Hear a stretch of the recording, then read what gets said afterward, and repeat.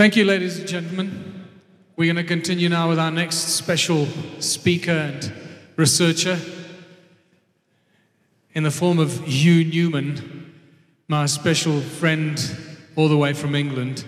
I first met Hugh um, when I went to my first UK um, expedition to share this information with the people in England, not knowing what I was going into, um, and to place and a, an event called Stars and Stones. The organizer of that, John, is here as well. And uh, there I met this guy called Hugh Newman, who did such an amazing presentation about the ancient civilizations of, of the Americas that just completely blew my mind. And uh, we immediately struck up a, a, great relationship, after which I realized that Hugh runs his own little special show called Megalithomania. Um, lo and behold, not long after that, I went off to England and uh, again and to Glastonbury and my first experience at Megalithomania there. And that resulted in the reason why you're all here today. So it gives me a special, special, um, warm, fuzzy feeling to introduce Hugh Newman to you, um, who I believe is going to blow you away. Hugh Newman is an earth mysteries researcher. He travels the world in search of megaliths, lost civilization, and ancient knowledge. He's currently writing about the pre Mayan and Olmec civilizations of Central America. He traveled there twice in 2003 and 2010 to explore the Olmec civilizations, the Zapotec, and other cultures in search of an ancient megalithic civilization that flourished in this part of the world that now has been almost totally forgotten. As well as being the organizer of Megalithomania conferences, he hosts the Avalon Rising Earth Mysteries show on glastonburyradio.com. So put a warm welcome for Hugh Newman, please.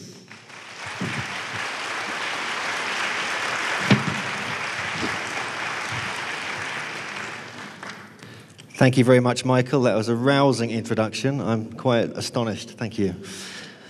Blimey. Um, so, thank you for being here for my talk. I know it's nearly lunchtime. Uh, we're going to be looking at the civilizations that existed in Mexico and Central America before the Maya. Most of you will be aware of the Mayan civilization because of the famous 2012 calendar and the pyramids and other sites there.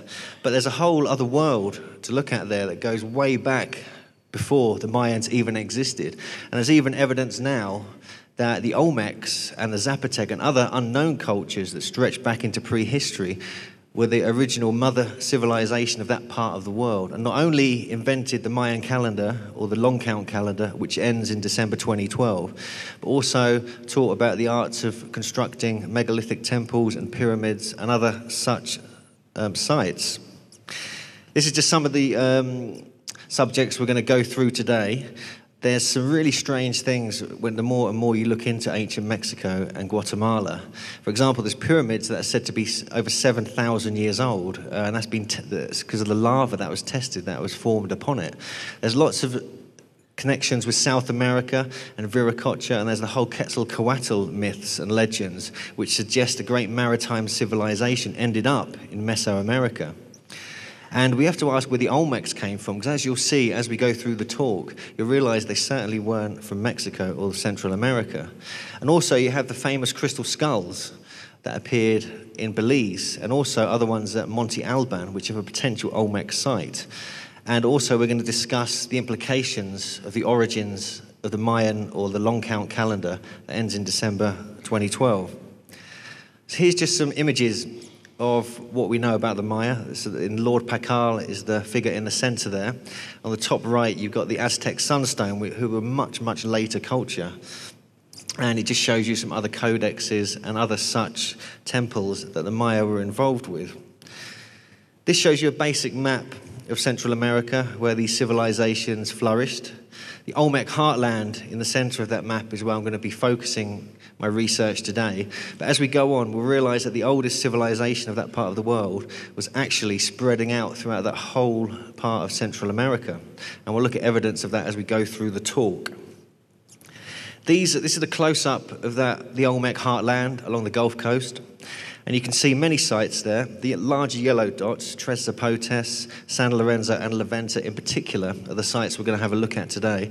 But there's many other finds that have been discovered and artifacts at many of the other sites listed here.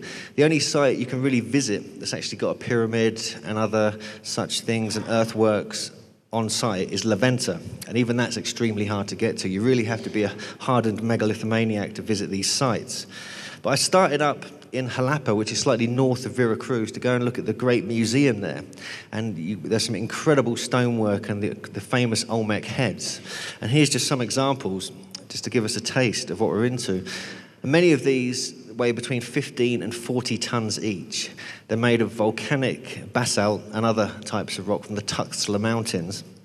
And most of the ones we're going to see in the next couple of images are from San Lorenzo or La Venta. Most of them were focused around San Lorenzo, which is said to be the oldest Olmec site in that part of the world. But you can see the immediately negroid features and the strange leather, possibly leather caps that they're wearing. Some people suggest they may be mining helmets. Zacharias Sitchin and others have pointed that out. And here's some other ones here. Uh, you can see just the sheer magnitude of these and the intricate carving, which one expert who appeared on BBC TV to try and unlock the mysteries of the Olmecs claimed that the stonework was so sophisticated it was almost, if not beyond, the level of the, the high level carvings in ancient Egypt. And, and he actually went there, this professor of, um, and worked with this stone, I found it almost impossible to carve with what the ancients would have carved with. So we're looking at a highly sophisticated civilization. And the dating really starts around 2000 BC with the first evidence. But there's evidence now that goes even further back to 2260 BC and 2500 BC. And we'll have a look at these, these artifacts that back up these dates shortly. But the general consensus is that the Olmecs began around 1800 BC and were flourishing around 1500 to 1200 BC. And you can see the strange braids on the back, on the right hand picture there, on the back of their helmets or the caps that they're wearing.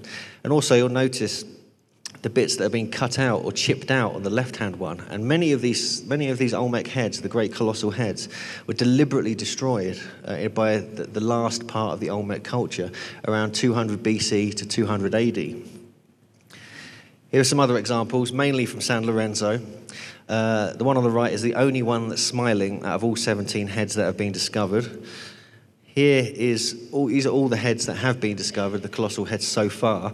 But there's others. When I was uh, when I went into southern Guatemala, there's evidence. I found evidence of four or five other colossal heads, which are proto-Olmec culture, slightly later, possibly 500 BC to 100 BC. We'll have a look at them as we go through the talk.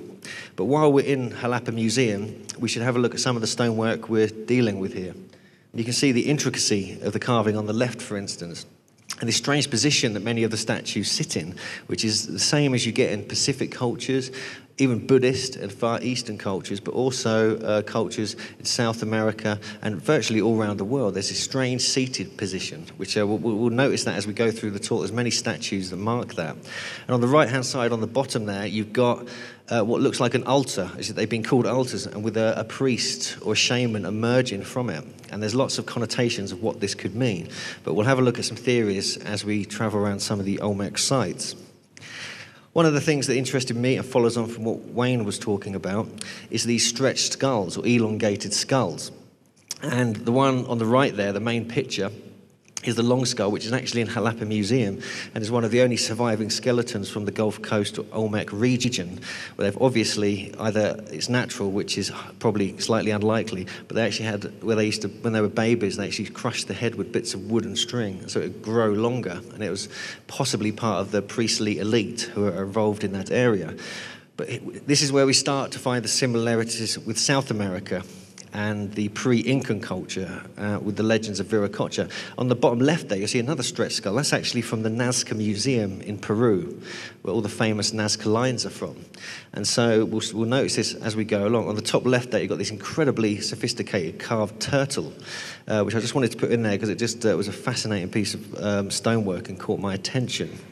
And it's one thing you notice when you go to Jalapa Museum, if you're going to go and look, you want to go and look at the Olmec societies of ancient Mexico, you really must go to Jalapa Museum, north of Veracruz. It's one of the most important places where all the artifacts are found. And interestingly, the oldest sites, the oldest artifacts which are in the museum are, cl- are close to the entrance. And as you go further down the steps throughout the whole length of the museum, you get to slightly more modern cultures to around uh, uh, 1000 AD. And everything seems to get smaller. So it's like the, the ancient cultures had all the huge megalithic stonework and they found it effortless to carve and work with. Whereas as time went on, that knowledge seemed to have been forgotten. And you can clearly see that as you walk through Jalapa Museum, and it's something that's, that's been noted by a lot of different researchers over the years uh, with these ancient megalithic cultures. This is a place called Santiago Tuxtla, and this is the largest stone head of all. Uh, this is 40 tons, and it's the only one, and it's one of the latest ones, and it's the only one where the eyes are closed. And we're looking at possibly about 700 BC for this one. And in the museum at Santiago Tuxtla, and all these sites come from, uh, all, all, these artifacts and stones come from Tres Zapotes, which has been mainly destroyed now, but many of the stonework has uh, been saved. And on the right there, you'll see two images, again, very Negroid features with this very interesting kind of rockabilly haircut. And this is something that surprisingly comes up over and over again in the Olmec world. And, and, and in other parts of the world, as you research this, you find that's the case. And also the style, because they think these were placed um, as sort of mortuaries or, or where people were buried. And, and the same kind of style has been discovered in Africa.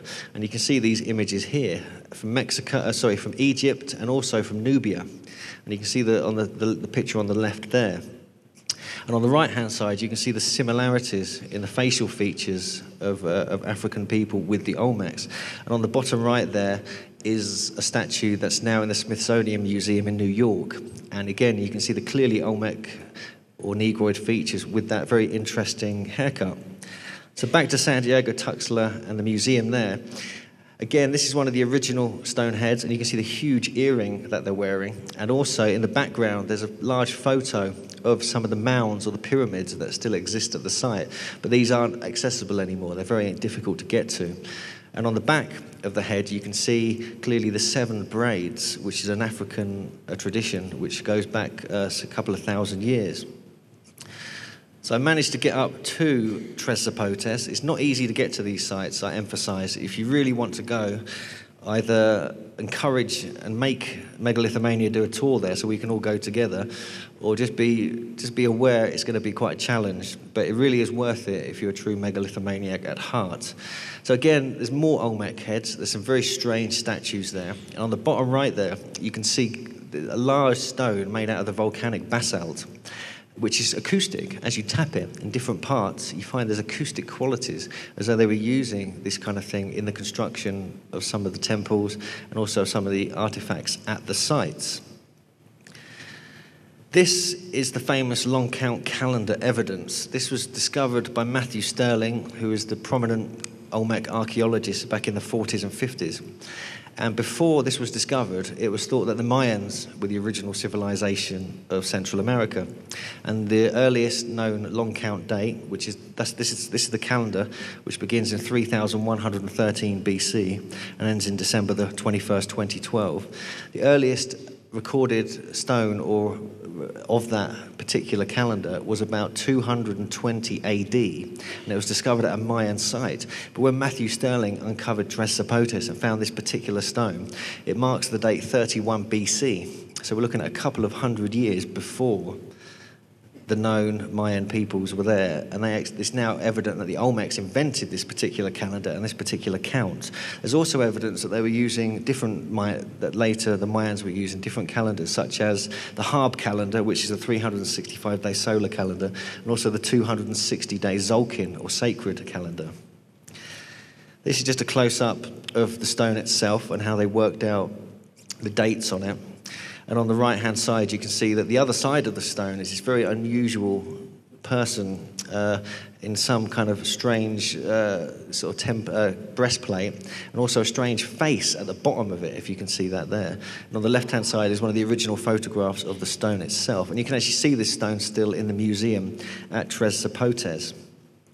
There are other calendar dates of interest. Uh, Chiapa de Corzo has another one of a very roughly the same time. And these early calendar dates around that era are called Cycle 7 calendar dates. The problem with this one, which is something I've been working with with Mayan scholar and 2012 expert Jeff Stray, is the problem is some of it was missing. And so the interpretation of it when you're using the dot and bar counting system of the ancient uh, Central Americans, that there's a, multiple different dates that could have been deciphered from this. And the other part of the stone has never been found, unfortunately. But we did a bit of homework on this and a bit of research, and this is what we, these are some of the dates we came up with. It's quite a lot to take in here immediately, but you can see some of the dates are very interesting. Some are standard dates which around 31 BC mark. But there's ones down the bottom there, especially the 3249 BC one, the one on the bottom is particularly interesting to me because that's just 120 or 20, 130 years before the origins of the long count calendar, before the start date in 3113 BC. And we have other dates, number 10 and 9, for instance, 2480 BC and 2736 BC. So these dates, I'm going to just want you to take note of these because as we move through, will, some of these dates will be popping up again, although officially the archaeologists and the historians won't go back any further than 1800 BC. And this is something that baffles me. And it's the same kind of principles and same problems that Michael and other researchers are coming across as they research these ancient sites. These are some more dates that um, Jeff Stray put together. He's a very, a very vigilant researcher. But again, we're seeing dates that go back to the start of the Olmec calendar or the Mayan calendar, around the 3113 BC mark, and others similar to it. Now, there's no until that other stone is found, we can't can't put the, the, exact date in, unfortunately. So when that gets discovered, it's probably been destroyed. Uh, then we'll know for sure. But the evidence is mounting that there were the Olmecs or other ancient cultures existing in that area back then. Now, San Lorenzo is possibly the most important site there. It was the largest settlement of the Olmecs, going up into the hills, where they found fascinating uh, artifacts and even waterways and drainage systems. And this head was only discovered about eight years ago, um, very recently. And so this is head number 17. And it actually, it was very freaky for the person who discovered it. It was an archaeologist, I think, from America. And as she was in a boat looking through this swamp to see if any artifacts were in the area, suddenly this huge head was looking up at her and she kind of almost fell out of the boat in astonishment. But it's one of the most well preserved heads left, and, uh, and you can see the fascinating headdress on it as well. And also on the left there, you can see the st- stone spheres, which is another tradition of the Olmecs. And you get this kind of thing happening in Costa Rica and also in Bosnia. Here are some of the other stonework. On the top right there, you can see this very interesting looking chap who seems to look like a European. Even has facial hair. And then there's some very other strange stones. There's one on the bottom left, obviously, which has been semi mutilated. This happens a lot at San Lorenzo. It's almost like the whole place closed down. And the final people there, or a different tribe, came in and started destroying the entire site. But they were up to some very interesting things at San Lorenzo. I just discovered this recently uh, when I was looking through some uh, academic papers. And this came up. There's some iron ore magnets that were obviously used by the people of San Lorenzo, going back 1200 to 1400 BC. And the site itself, where San Lorenzo originally was, there's a great, huge magnetic, magnetic anomaly actually at the site itself. And so they think they may have been working with these particular earth energies um, in this part of the world, and they had an understanding uh, of the different types of electric charge, uh, magnetism, and also telluric currents, which is something we'll be looking at as we go along. There's also evidence now at San Lorenzo that there was the first place, first people to invent the compass, even before the Chinese. And so this is now coming to the fore. The, but the thing with that is, there's lots of evidence at many of these sites that the Chinese or the Orientals were, were at, were at some of the Olmec sites. Uh, and astonishing as it may sound, this seems to certainly be the case. And here's just, this just shows you some comparisons. We'll, we'll, we'll have quite a few of these throughout the talk. Um, with Egypt, there's lots of Egyptian connections with the Olmecs, a huge amount. There's been a lot of research done on this by various scholars over the last couple of decades. And here's just one example uh, a site called Porto Novo, which is um, just near San Lorenzo. And you get the same image of the Egyptian goddess Nut supporting the hieroglyphic sign for sky. And again, more and more of these will be coming up as we go along. So this is where this was discovered. You can see just next to the San Lorenzo on the right of it is Potrero Nuevo, uh, which, which there's nothing left there now, just artif- artifacts that have been discovered. And if you look up at where La Venta is, up here, just next to that is San Andreas. And this is where these artifacts were discovered. And these are one of, some of the only artifacts of that kind of era which suggest that they had a writing system in place, fully formed. Almost, uh, you know, it was fully formed before they got there. It didn't develop anywhere, particularly in Mexico or that part of the world. Some of the glyphs represent uh, some of some of the 260 day Tzolk'in calendar as well, and so we're looking at a kind of we're not they're not sure of the dates of this. We think it's about um, 1,200 again 1,400 BC. So if that is the case, it's certainly the oldest evidence of the Tzolk'in calendar, which has become famous uh, in recent times with the popularity of the Mayan calendar and the dream spell. So if we move up to La Venta, which is very near San Andreas. Um, this just shows you the main site here. It's one of the, it's the earliest known pyramid officially in Central America, although as we will see, there are possibly some that are much, much older. Again, on the top left, you get the extremely negroid features, which is something that Matthew Stirling, when he discovered the first of these Olmec heads, was astonished by how Negroid they looked. And they certainly do. The more you look, the more you have to accept that. Although the academics slammed it, especially Glyn Daniel and certain other academics who notoriously um, like to slam the alternative thinkers or even the not so alternative thinkers. And they suggest that all the Olmec features are actually of Central America, and yet they don't, it doesn't make any sense when you start looking at it more deeply. So you can see this layout of the site, and you'll notice these particular pavements, which are in part of the La Venta site.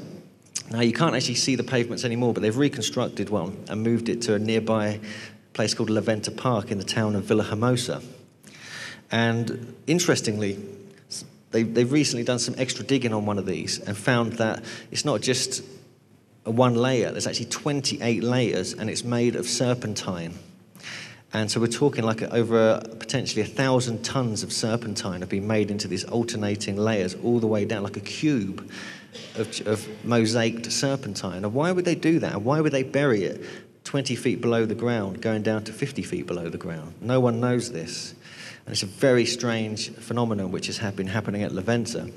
But as we'll see, there are certain things going on with the earth energies at La Venta which are of high interest to me, and it could be something to do with that. These are some of the other stones. There's two heads here on the, on the left and in the middle, which are mutilated Olmec heads. They've been completely destroyed. And on the right hand side, we have a huge stele, which no one has quite been able to decipher just yet. But the one on the right is probably 20 feet tall. So these were megalithic engineers of the highest order. I'm just comparing my face to one of the faces, heads discovered at La Venta. This is actually in La Venta Park, and it's well worth going to a Villahermosa and most of the actual stones from La Venta have been taken there because the oil industry was surrounding La Venta itself and almost destroyed the entire site and all the, megalithic stonework there. But these were fortunately saved 40 years ago and taken to this particular park. These are some of the other interesting megalithic stones there. On the bottom right, this is a classic tomb of the Olmecs for the royalty or the priestly caste. On the top right, there's some very interesting figure here who seems to be flying, pointing at someone, and wearing some kind of crash helmet. And he, and he looks particularly Western or American, or he doesn't look Central American. He looks like he's from the Middle East or the West, somewhere like that. This is another, yet another Olmec head, one of the 17. This one's about 25 tons, and it's, again, beautiful stonework. It's been quite weathered, possibly partly destroyed. This is one of the altars with the incredibly interesting serpent symbolism on it. And you can see on the top left there, just here, this is uh, looks like a, a, queen or a princess, and her arm seems to turn into a serpent, and it follows round here. This is going down the side round, round here, and it follows across here, and then this guy, whoever this is, is holding the serpents against the ground, and then it continues around the other side. You'll also notice, uh, not particularly, there's, there's, another altar, but there's serpents coming in from different angles as well. So this serpent symbolism becomes very fascinating uh, the more you look into these sites because it seems to be related to the earliest references of Quetzalcoatl or the plumed serpent of ancient Mexican mythology. Also with this, I found this interesting because this was actually moved from the original site, but the guy I was with when we explored this particular area, the energy coming off this was astonishing, and you could feel it 10, about eight meters away. And, I just, and even though it had been moved and placed at you know, a random you know, museum in some town, I could not cut. It was so powerful. Me and this guy were like, "Whoa, what's this?" It's like a force field around it, and it really moved us and really made us realise that these stones, even if they've been moved from their original site, still hold the messages and the energy of what the ancients were working with. And it didn't happen on any other stones. It didn't happen on particularly any other sites. But this particular stone, it, it, stunned us.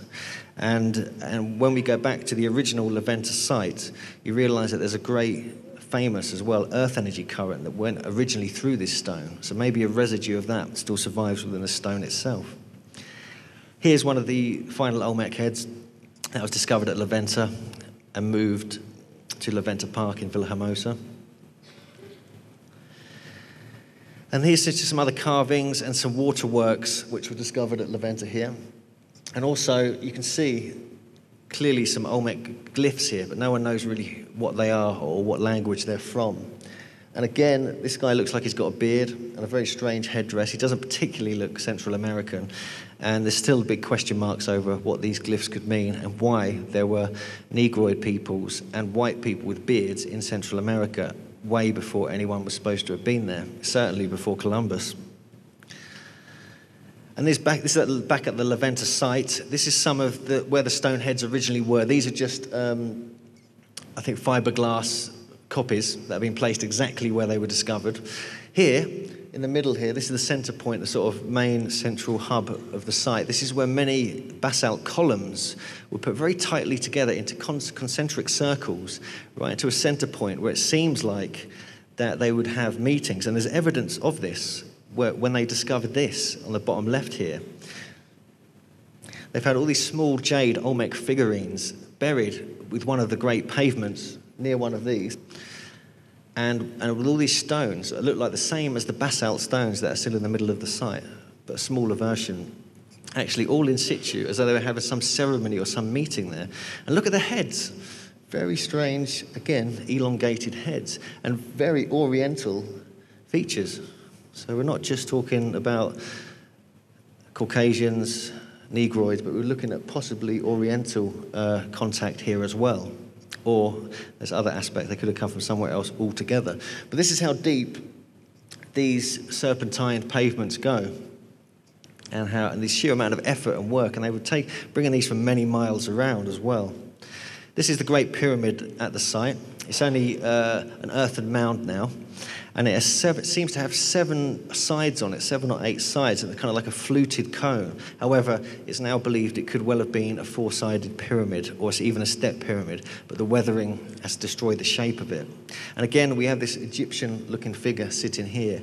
As you can see, it was quite wet there. I, I chose the rainy season to go there, uh, just because I'm English, I guess and, uh, and it was very, very wet, but I struggled through and had the most amazing time there, to be honest with you. I was the only person at the site for like half a day, and so I just hung out there and got soaked through to the bone, uh, but had an amazing experience there. And this is where I discovered some of these fascinating earth energies, which is an area of research I've been looking into for the last 10 years.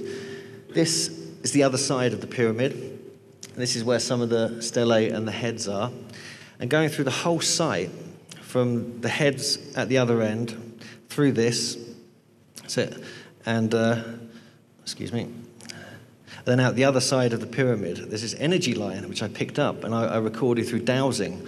And it also went through this, which is the altar we looked at, a fake one there now, but where the original altar that I had the experience with got moved.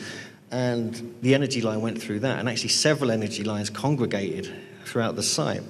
And I'd already been researching this line, these great global currents called the rainbow serpent and the plume serpent, coincidentally, that go all the way around the planet, two great currents. And this is the map I kind of created of that part of Mexico. And the line comes in at Coatzacoalcos, and this is, means serpent sanctuary. And this is where Quetzalcoatl was supposed to, he came, he arrived in that area on a, on a raft of serpents with a band of followers, and he was a tall, pale man with a beard and bright blue eyes, and wore robes, and could speak every language of the natives and started being acting like a missionary almost and uh, teaching the arts and sciences and getting everybody tuned up to this knowledge that somehow he'd bought.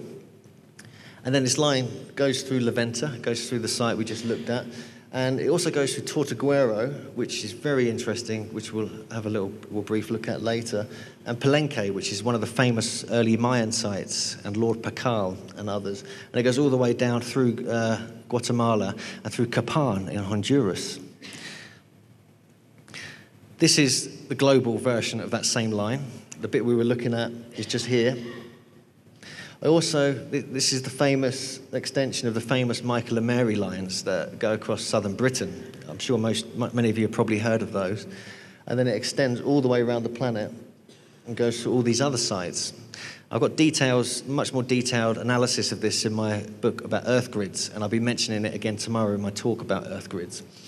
But it also goes through here. This is where two of the great currents cross at Lake Titicaca in uh, Bolivia Peru border and we'll look at that in more detail tomorrow. This is me at Coatzacoalcos, excuse the close up.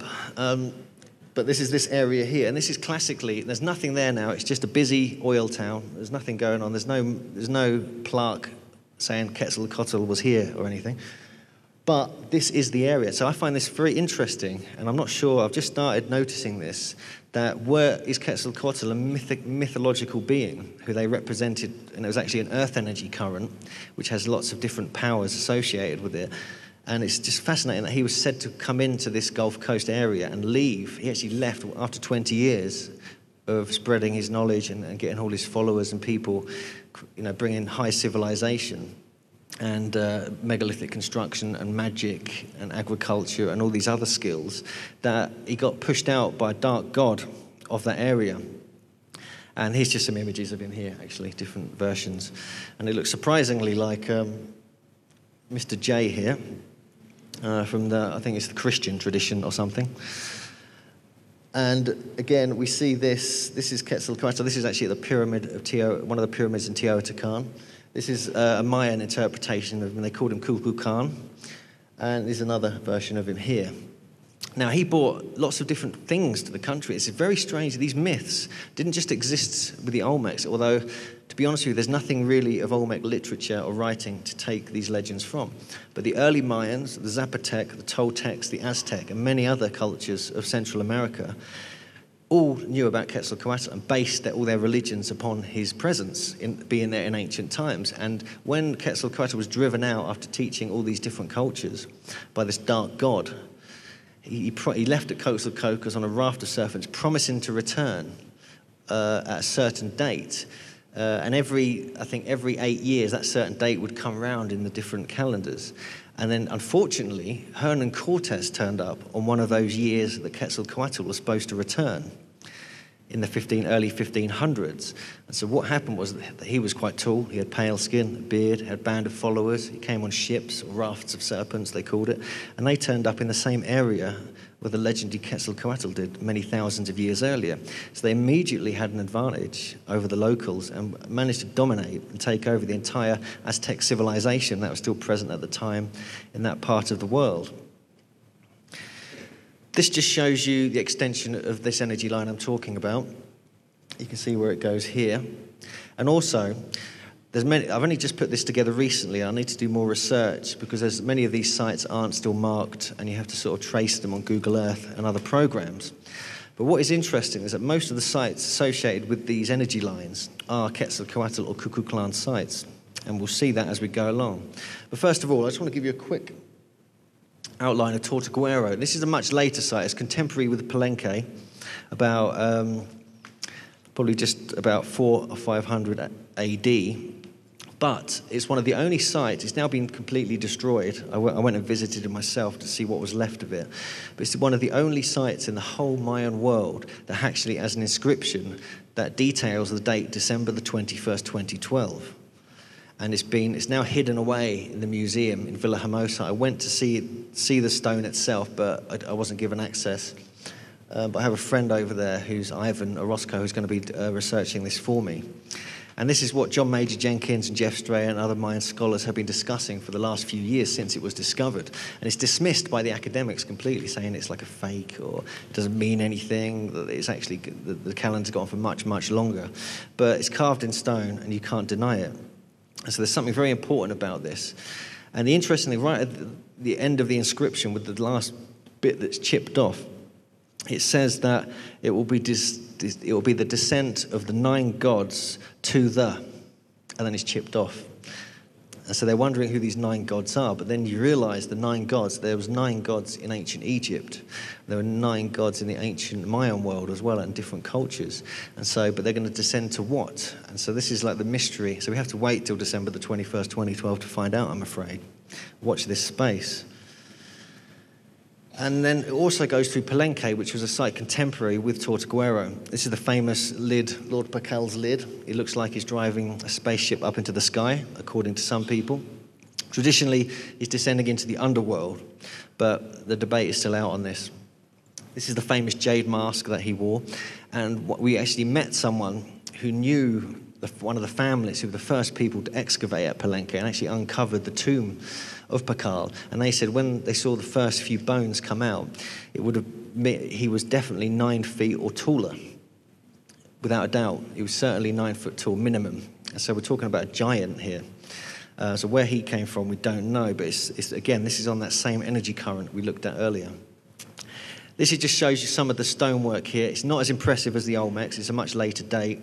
However, some parts of the site talk of the nine gods. So we're seeing the same mythology as the Tortuguero stone present here and in Egypt. And some of the meg- some there were a few megaliths there built into some of the pyramids, but nothing particularly that caught my attention. And down in Honduras, we have Copan, where the energy line continues. And this is a very interesting site because a lot of the stonework there, it looks particularly like they're Oriental or Chinese. And they have lots of symbology. They even have an elephant, as you can see in the picture there, Stela B. Um, and it has a whole different feel to it. It really does. And they found lots and lots of archaeological evidence relating this site and other sites in the Mayan world to China. There was a lot going on in China at the same time as there was here. And so I find this particularly interesting. That needs a little bit more research before I can comment any further on it. So this is we're going to be looking at sites down this way now. This is like the border of Guatemala's around here. That's Guatemala. That's Mexico. And we were up here before at all the Olmec sites, Chiapa de Corzo and others. But Izapa, it's a particularly interesting place. And it seems to like a proto Olmec culture that were contemporary with the very early Mayans. And John Major Jenkins and other researchers believe that was the site where the Olmec teachings integrated with the Mayan world, and then it spread out from there. And here we see some of the stonework here. Particularly interesting is the, the top right, the serpent uh, the serpent symbolism. And on the bottom right there is a very famous stele with a carving on it, which no one's really been able to decipher, but um, a couple of researchers back in the 70s noticed how similar it was um, to one of these carvings or paintings from a tomb in Egypt. And you can see the same thing a serpent underneath with wings going up on the side of the being in the center there. And, uh, and lots of other symbolism that seems to match.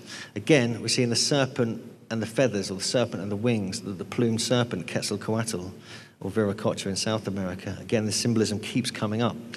One of the most interesting things about Izapa, to me, is these carvings here. On the top right there, these are clearly psilocybin mushrooms, which grew all around that part of the world in antiquity, uh, which are the same as like magic mushrooms, which you get in England and other places. On the left there is a Bufo marinus toad. Now, this toad, if you excrete a substance from his shoulders, you get something called 5-MeO DMT. And when smoked in the correct manner, you have the most powerful psychedelic experience available on the planet. And it seems that the people of Izapa and even the Olmecs now, because they found many uh, Bufo marinus toad bones at San Lorenzo, they were definitely a psychedelic culture. And some people believe, John Major Jenkins, the mind scholar included, is that in fact that was one of their ways of reaching into pre reaching into distant past and distant future times through the psychonautical uh, state of the mind. Uh, there's a lot more to that. There's a lot of research has been done on that now, and even some cultures who still live there still ingest these substances in a ceremonial and shamanic fashion, and it's still it's obviously very popular among the alternative uh, groups as well. And many people actually go to Mexico to have these ceremonies and to get into the mindset of the ancient Maya and Olmecs. Further along, if we head further east into Guatemala, we reach um, as, as a town called Santa Lucia and there's many sites nearby there where amazing stonework. Again, we think it's proto Olmec, possibly 200 BC to 500 BC. So it's not classic Olmec. But again, look at this strange stonework here. And on the left, it looks almost like Sumerian or Egyptian. And on the right, we have this bizarre uh, teddy bear looking guy uh, with someone, and they're all wearing boxing gloves. And also, we have these strange symbols here which no one's been able to decipher. So no one knows where this culture came from, although there are extreme similarities with the Olmecs, particularly when we look at some of the heads we found in, that have been discovered in the area too. This is a place called Bilbao, and this just shows you great, these are some of the great megalithic slabs with incredibly intricate carvings on them, showing scenes of battles and ceremonies and shamanic experiences, just still lying about in a field. Be warned though, Santa Lucia is the most dangerous town in Guatemala, possibly in Central America. We didn't know that, but we went there anyway. And uh, I dragged my girlfriend at the time along, and then when we arrived there, we looked at a newspaper, wondered why the hotel was empty, and realised that several tourists had been shot and killed off the same bus we got off two days previously. So we timed that one well. Here's some other sites in that same field, and apparently everyone on this particular street has guns, so just be careful. And this just shows you the detail of some of the carvings that we can see here. And then there's lots of little museums called fincas nearby. This is one of them, Finca Las Illusions. And you can, if you get a driver, you can go around all these sites, make sure he's a big guy, preferably with a gun, and you should be fine. This is just one of the stelae here. Uh, this, the thing with this area here, unlike other, unlike other places in the Olmec or the Izapan kind of cultures, that they, they have multiple, they have several of these exactly the same, and several of these exactly the same. So often two or three or four. So whether they were like sort of markers around a site, we don't know. In the museum there, uh, again, we find evidence of the psilocybin mushroom. So we know what they were up to. And some megalithic blocks just hanging about outside a church. Uh, often, obviously, as we get everywhere on the planet, churches were built on top of the prehistoric sites. We see the entwined serpent, which is something you get with these earth energies. You always find two currents weaving around each other, re- weaving around like a caduceus. And so this symbolism here I found very interesting. What's also interesting is what's in its mouth. It kind of looks like a human. Can you see that little human there? Trying to get out? Being eaten by two serpents at once. Ooh. Or it could symbolize just their tongues coming out. We don't know. And here's just some of the stonework that was, luckily, it was saved before they built all the sugar plantations there. And here we have a place called La Democracia, which isn't far from there. This was originally from a site called Monte Alto. Again, it looks kind of like an Olmec head, but with very strange features and, and a pair of sunglasses on. Uh, possibly the earliest known sunglasses recorded in stone. But you can see the features are very different to the Olmecs. They, they cover their eyes up, and the features don't look sort of Negroid. They don't really look Central American. So where, you know, what, what did they base this upon? And then we have the Buddha figures that have been discovered as well, sort of sitting down, meditating like big babies. And again, there's no explanation for these either. And so, and these just appeared at this site called Monte Alto. But a lot of people now, including David Hatcher Childress and other researchers, believe these are the later Olmec culture. If you move along further east in southern Guatemala, there's a fascinating site called Quirigua. And this is where you get huge anamorph, zoomorph figures and very large stelae, some of them up to 35 feet high. This one interested me because if you look at the stones underneath it, it looks like it used to be a dolmen. It's like a table stone, a table megalithic site, where you have three stones and then one resting on top, flat, like a roof on it. And then I think some of these could have been much more ancient megalithic sites and incorporated into the cultures that flourished in these areas. And this turned up in this photo as well. And I didn't have a flash on. I didn't use a camera that had ever taken any orb photographs before. In the middle of the day, this turned up. So again, I think there's something to do with these strange energies you get at these sites. This shows you some of the huge stelae. I couldn't even get it all in the photo because they're like 35 feet tall. Sandstone, quite easy to carve, but obviously they've been quite badly eroded over time. And just at some of the, the temple at the other end of the site, there's again quite large megalithic blocks. And obviously, I got excited being a megalithomaniac and started pointing them out and getting photos of them. There's even some strange toes here as well coming out of the wall. Uh, so I found that quite bizarre. And then when I met, I met a guy there who um, got chatting with, ended up staying with his family because I had nowhere to stay that night. And he ended up getting out 40 different artifacts that he'd personally collected from different parts of Guatemala. And again, I mean, it's just a couple of examples here. This here looks at very Olmec features, and this was found in southern Guatemala. So whether there was trading going on or traveling of the Olmecs, and also these other ones here, very unusual, very unusual uh, artifacts. And he's got like 40 or so of these, and he just keeps them privately because all the museums will just take them and put them in, the, in their basements. So he keeps them to himself. And then if you go to Guatemala City itself, um, which is going back west again, there's a site that used to be there called this. I'm not going to even try and pronounce that.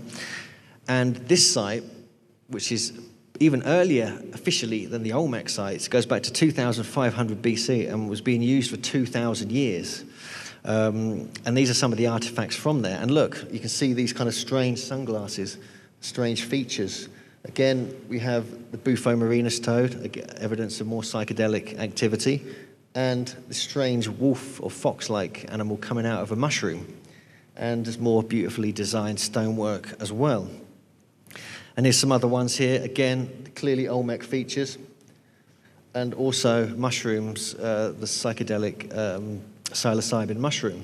And as you have, head further west, back towards Mexico, near the Mexico Guatemala border, there's a site called Abaj Takalik, and here is where recently they've discovered what appears to be the 18th Olmec head, officially. This is what's left of it, not much. Um, and here's some what looks like classic European megalithic chambers, uh, which is very bizarre to find that at a site in Mexico. And here just shows you some other strange features, some strange faces. Again, an Olmec, Olmecoid head, another one here. And also this sort of crouched uh, Buddha figure, and these strange crocodile coming out of the um, side of the pyramid. And then also I went to Belize, which is the, it used to be called British Honduras on the eastern coast. And I wanted to see if there's any Olmec evidence there. And then I, I found it at the first site I went to called Cerros in Belize, North Belize. And they, they found a jadeite Olmec pendant. And then there's some stucco faces carved onto some of the, the temple, uh, carved on some of the sides of the pyramid, were clearly Olmecoid again quite computerized, kind of robotic looking uh, Olmecs. And this is where I met a guy called Jim, who's an explorer. And he found this mysterious seated figure when he was exploring the Mayan mountains in southern Belize, the area of Lubaantun, where the, um, where the crystal skull, the famous crystal skull, was discovered. And again, we find this seated position. This is something that keeps coming up at almost every Olmec site. Um, I think it's called Kirizo or something like that. And, and again, so this is potentially an Olmec wooden artifact, which is one of the only ones ever discovered. And he discovered it himself. And he actually used to live with Anna Mitchell Hedges. He used to be best friends with her, who was the owner of the famous Mitchell Hedges crystal skull. Some other sites in Belize worth checking out is Lamanai. Again, we have these Olmec stucco faces on the sides of one of the pyramid, recently discovered. And then Lubaantun, which is right down south towards Punta Gorda. And again, we get these very strange polygonal megalithic walls. And of course, the famous crystal skull that was discovered there, apparently, possibly, by Anna Mitchell Hedges. And uh, strangely, following on neatly from some of the artifacts Wayne Herschel was showing in this talk, look at this. It looks like a sort of spaceman. This is just in the museum there. And on the right hand side, we have again Olmecoid features present and being discovered at Lubaantun. So potentially the Olmecs could have stretched all across Central America into many different places. And here's a picture of, of the famous Mitchell Hedges crystal skull. Just a few miles away from Lubaantun is Nimli Punit, and this is another interesting uh, early Mayan site. Well, no one's sure who the culture was really here, but you get very large stelae, they're huge megalithic stelae, and uh, this is one of the most interesting places combined with Lubaantun in the whole of Central America. It's fascinating sites. And my Mayan guide, whose family I ended up staying with for a few days, were telling me about some strange lights that appeared at these sites and moved in straight lines between Lubaantun and Nimli Punit. And he gave me a sort of um, a whole story of that in English. I've actually got it on video, so um, when we get it together, we'll be able to sort of show you that. And we're going to head back up now from right down here, up back up to Mexico City, this region here. And the Olmecs seem to have spread quite far and wide, not just on the Gulf Coast and down into Guatemala. They seem to have moved uh, right up to Mexico City and beyond. Excuse me one sec.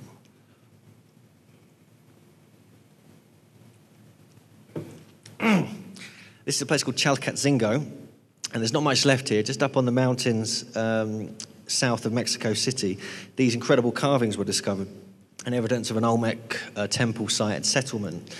And again, we have this very unusual sort of shaman, priest, king, or whatever, sitting inside what looks like a cave with all these psychedelic imagery coming out here.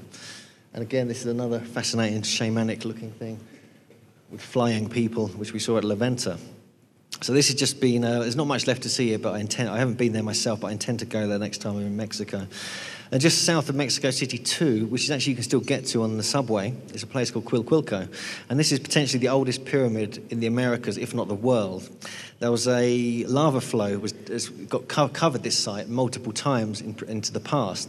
And one of the first ever dating they did back in the 1920s, they found that it was 7,000 years old when they carbon dated the lava. So immediately, we're looking at possibly the oldest pyramid, certainly in Central America, if not the world. However, more dating was done on it since then, and it's found now they think it's like 800 BC to 200 BC, and now officially it's about 20 AD.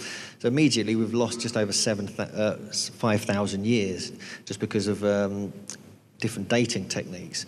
But there's some very interesting stuff that's been discovered here. This is one of them. This just shows you a perfect double spiral carved, which is something you get in the European sites, also in Malta, but interestingly, also at Tiwanaku in Bolivia. You get this double spiral motif. If you go to the museum in Tiwanaku in Bolivia, you find that there. There's other connections with that as well, with, with Tiwanaku and with the Peruvian sites, at a place called Tula, which is slightly, uh, I think, east of Mexico City, quite easy, no, northeast of Mexico City. And this is a Toltec site who they believe were uh, involved with the Olmecs before that. And you can see some of the beautiful stonework here. And immediately it caught my attention because I'd been to Tiwanaku a couple of years before in Bolivia. And if you look at the similarity between these and the one on the left there, which is Tiwanaku, you can see the striking similarity between that and that. And so there seems to be a connection. And yet in Tiwanaku, they revered Viracocha, again, the plumed serpent. Whereas in, in Tula, it was Quetzalcoatl, the plumed serpent. So there's obviously some kind of connection here between different parts of the Americas. And they had these strange things they, they carry in their hands at the sites in Tula, like they do in Tiwanaku as well, which some people suggest the kind of strange plasma guns they used to, well, Zecharia Sitchin proposed this, to actually like carve and manipulate rock because obviously they had to do that to create all these incredible sites. Interestingly, just outside Tula, in the car park, is the, the, remnants of what looks like a stone circle, like a classic British European megalithic stone circle. And no one's ever mentioned this. Uh, you wouldn't know it was there if you hadn't, you know, if you'd just seen, been looking at photos in books or on the internet. But you can see clearly that, you know, when I investigated this and checked out the layout, it looks like it was, used to be a circle. So potentially, you know, Quetzalcoatl and his followers from 3000 BC and beyond were megalithic builders, you know, and they started like this and it developed from there. You, you get a similar thing actually at Teotihuacan. Again near Mexico City. Not only do you get the, an entire pyramid dedicated to Quetzalcoatl with the plumed serpent imagery, you actually get a megalith sitting in the middle of the main plaza, which no one mentions. And interestingly, there's Olmec jadeite faces have been discovered there. So there's now a suggestion that Teotihuacan was actually an Olmec site and it wasn't built by the Teotihuacanians or the Maya or the Toltecs or the Zapotecs. It was actually Olmec. And this just shows you a view, um, the Pyramid of the Sun in the distance, viewed from the Pyramid of the Moon. There's a whole avenue, obviously, it's quite a famous site. Most people know about this. But under the Pyramid of the Sun, this is where they've discovered an incredibly interesting cave system. Uh, it forms into like a, a, great cross that goes all the way under the pyramid. And they found crucibles with mercury in it and things like this, and all these strange artifacts, including the jadeite Olmec mask. So we're looking at potentially this was like a slightly later Olmec culture moving through different parts of Mexico. So we've already seen at Cuicuilco the oldest pyramid in the world potentially. Now Cholula, which is near Puebla, which is about 40 miles east of Mexico City, is the largest pyramid in the world by far. It's three times bigger than the Great Pyramid in Giza. It's twice as big as the Bosnian pyramids.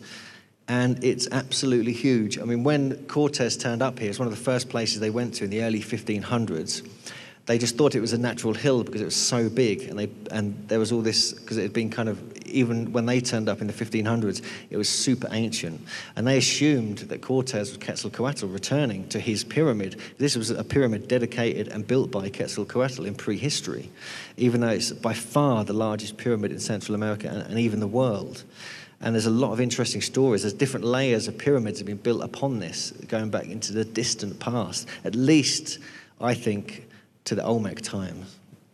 And it's well worth a visit. There's a fascinating museum there as well. And just to put the icing on the cake, there seems to be what looks like a battered old Olmec head still in situ at the site. Around the front of the site, near the main entrance, we have sort of megalithic evidence here as well. And this is a stone I just spotted, and it's got a perfectly cut square in it, which is exactly like you get in different parts of Mexico and also in Britain, these Men-an-Tol stones. And on the top of it, you have a little mortise and tenon joint, which is what you get at Stonehenge. Uh, how the big lintels sit upon the main megalithic stones there. And you also get this in, in not only in different parts of Mexico, but also in South America yet again. And this just shows you the different layers of the pyramid here, the Great Pyramid. I mean, this is the largest pyramid by far in the world. Uh, and you can still check it out today. You can even go into some of the tunnels still if you catch it at the right time of year when there's no flooding. Then we move further east again in Mexico to a place called Monte Alban. Fascinating place. They think, again, this is a proto Olmec site. All these carved stones, again, Olmec features, huge astronomically aligned uh, megaliths. And these stones were the earliest stonework there, and it was later built by other people. And here's just some of the Olmec features and some of the carvings as well. And outside in the car park, again, like at Tula, megalithic marvels exist in car parks in Mexico. This is where you need to be looking. Huge, great Stonehenge type Trilithon temple. Um, just you, can, you don't even have to pay to go in that, but you can just wander about. Again, this is like megalithic construction of the highest order. Slightly further east than that is a place called Mitla, contemporary with Monte Alban, at least 500 BC, more like 900 BC. Again, the megalithic builders were there too, and you can see this in some of the lintels, which weigh up to about 20 to 40 tons each. Again, there's Quetzalcoatl myths here too, and here's just some of the columns. Perfectly cut column. And this just shows you the sheer size of some of these stones, but this little girl just happened to get in the way of my photo. And it's famous for these mosaic mosaics, really. That's why most people go there to look at. But if you've got a megalithic head on, like I permanently have, you find a lot more there. Here's some other stonework there. Again, as I was driving away in my little tuk tuk down back to where I was going to catch my bus, just looked over a wall and found another great megalithic temple, just where they, the kids play football, uh, which I thought was quite interesting. And, uh, and there's many other sites in Mexico. I mean, I've just sort of scratched the surface here. The more you explore, the more you find. You really have to go there and explore. And it's such a fascinating place to, to visit. It really is beautiful and amazing people there. One of my favorite places was Tikal. And this is where this stone was originally discovered. And this is one of the only stones that actually depicts the end, one of the ends of the world. And there's, there's like five different worlds have been destroyed by cataclysms, as according to the Mayans and the earlier cultures of that area. And unfortunately, ironically, this got taken to the German uh, museum in Berlin and got destroyed in the first, Second World War when it was bombed. But luckily, photos and uh, paintings and, and, and, pencil work were, were taken of it. So you really have to question what were they doing there? Why were they designing these calendars? Why were they marking this start date, 3113 BC, and deliberately marking the end date in December 2012? Is there a significance there? Did something happen back in that era before that start date? And is something going to happen around the end of this end date? Is it going to be cataclysmic or is it going to be something more profound and spiritual? And, and, or is it an awakening unfolding? Or is it simply this?